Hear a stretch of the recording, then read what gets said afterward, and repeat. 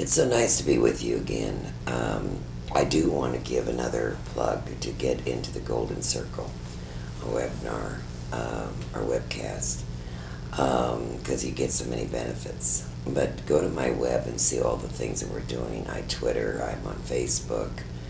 And you know, Christopher, my son, does marvelous readings too. So you can see everywhere I'm going to be, whether I'm cruising or whether I'm going to Egypt or whether I'm going to Ethiopia or wherever I'm going or whatever I'm doing. You can tell in all the lectures that I'm going to be giving around the country.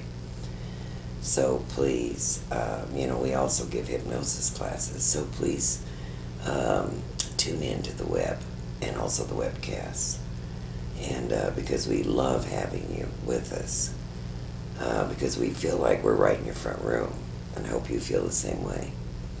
Today I'm going to be talking to you about something that seemed to be, some years back, very controversial. Seems to be more accepted now. I know the Catholic Church always put Mary in the place, but let's talk about Mother God. Let's call talk about the co-creator, Mother God. Now, let's go on rationale. Let's not go on faith. If God made us in the image and likeness of God, and we're told this, and of course it had to be, God couldn't be just some nebulous something that floated around in the ethers. We have to be made in the image and likeness. So if God just made man, who made us? So of course there was a female. And it's amazing too to notice as I've traveled the world, whether it's Egypt or Turkey or Greece, every single one of them has a mother god. In Turkey, it's Anatolia who rules the country, or Isis. See, down through all the centuries, except for the United States, they've had a mother god or goddess. The Hindus do. Um, Catholics, of course, like I said, make Mary. The Turks have the uh, Anatolia. Uh, we have Isadora. We have Sophia. We have Theodora.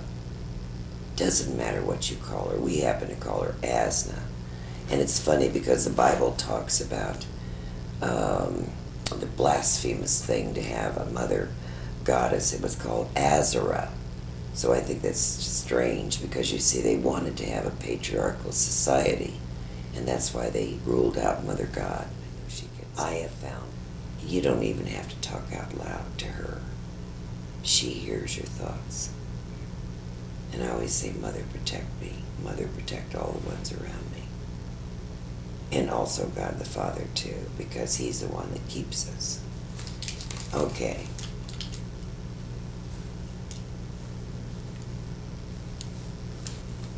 even though my church, the Society of Novus Spiritus, is a Christian society for spiritual awareness, I've always encouraged the readings of all religious texts, of all religions. I firmly believe that our Lord Jesus Christ said in his Essene in Gnostic belief, like I said, seek and ye shall find, knock and it shall be open to you. Matthew 7, 7. I've always said and will continue to say that whatever you read or hear, take with you what you want and leave the rest. Because if we don't, you know what happens? We become a cult. And there's no sense of becoming a cult. When somebody tells you how to live, how to breathe, how to work, how to dress, what to eat, no, no. You run.